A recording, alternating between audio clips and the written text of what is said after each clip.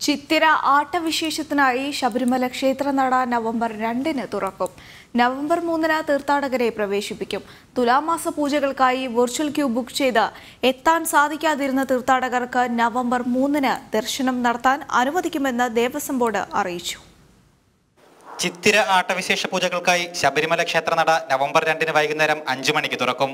മൂന്നിന് പുലർച്ചെ മുതൽ തീർത്ഥാടകരെ പ്രവേശിപ്പിക്കും.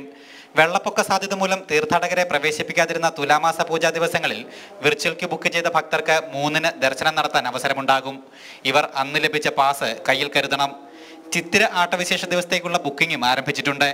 എത്തുന്ന എല്ലാ തീർത്ഥാടകരും രണ്ട് ഡോസ് കൊറോണ വാക്സിൻ സർട്ടിഫിക്കറ്റ് അല്ലെങ്കിൽ നാൽപ്പത്തിയെട്ട് മണിക്കൂറിനുള്ളിലുള്ള R T P C R negative certificate കയ്യിൽ കരുതണം.